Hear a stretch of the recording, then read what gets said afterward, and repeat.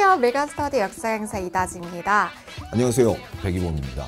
스승의 날을 기념해서 여러분들에게 특별한 선물을 준비했는데요. 피터뷰를 통해서 여러분들이 사전에 올려줬던 질문들 중에서 많이 올라왔던 질문들, 특히나 많이 궁금해하는 질문들을 선별해서 어, 나름 좀 성심성의껏 어, 답변을 드리도록 하겠습니다. 그럼 피터뷰 시작해 볼까요? 매년 교재가 너무 예뻐요. 그 중에 가장 마음에 드는 교재 표지는 무엇인가요? 가장 최근에 나왔던 세계사 문제풀이 교재의 그 표제가, 표지가 너무 마음에 듭니다. 되게 예쁘게 디즈니 성 같은 모티브로 어, 문제를 풀면은 이 성에 입장할 수 있다라고 하는 모티브로 만들어졌는데 여러분도 한번 보세요.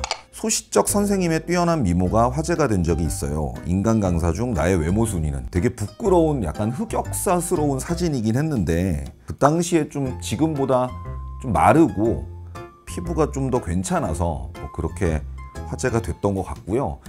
굳이 순위를 매기자면 한 32? 선생님이 가장 존경하시는 역사적 인물은 누구인가요? 우리나라에서 가장 존경하는 인물을 꼽자면 이순신 장군을 떠올릴 것 같아요. 난중일기에 제일 많이 나오는 글자 중에 하나가 웅크릴 축자인데 그걸 보면서 제가 감명을 엄청나게 받았거든요. 평범한 사람과 영웅의 차이는 웅크리고 있다가 끝나느냐, 웅크렸지만 일어나느냐의 차이라는 거를 알게 해줬던 대목이었던 것 같습니다. 그다음에 이제 물리학 외에 다른 수능 과목을 가르친다면 사실 생각해 본 적은 없는데요. 제가 고등학교 때 수능 준비했을 때를 뭐 떠올려 보면 국어? 선생님의 최애 웹툰은 무엇인가요? 웹툰 추천해 주세요. 저는 웹툰을 진짜 많이 보는데요. 거 정말 좀 특별하게 메가스터디에서 강의를 시작하면서 일부러 봤던 웹툰이 있어요. 그게 바로 이삼희 작가의 연애혁명이라고 하는 웹툰이었는데요. 제가 가르치는 학생들의 나이는 항상 10대 후반의 나이니까 어, 이 친구들이랑 계속해서 공감대를 가지면서 이해할 수 있으려면 문화도 알고 패션도 알고 해야 돼서 제일 쉽게 이해할 수 있는 게 뭘까를 생각을 해봤더니 연애혁명이라고 하는 웹툰이 요즘에 학생들이 뭐를 좋아하는지 연애는 어떻게 하는지 어떤 노래방에 가고 어떻게 즐기면서 사는지가 나와 있더라고요. 그래서 제일 좋아하는 웹툰은 연애혁명입니다. 제 인스타에 많이 공개가 돼가지고 학생들이 좀 관심을 많이 갖고 있는데 선생님 강아지 라떼 모카거든요. 이름이 자랑 한 번만 해주세요. 뭐 저희 아이들은 상당히 일단 순합니다. 어, 사람을 잘 안 가리고 사람을 너무 좋아하고 그 다음에 공격적이지 않고요.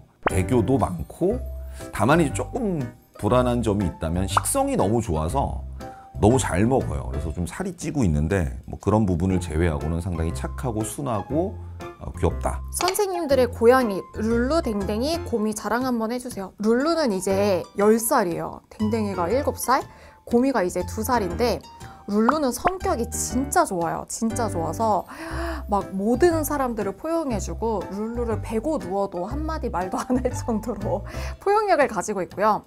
댕댕이는 천재예요. 진짜 천재여가지고 제가 배가 아프거나 어디가 아프면 배가 아프다고 하면 배에다가 귀를 몇 번을 이렇게 좀 대본 다음에 자기 손으로 이렇게 배를 어루만진다던가 하는 행동을 하고요. 고민은 상상할 수도 없는 바보거든요.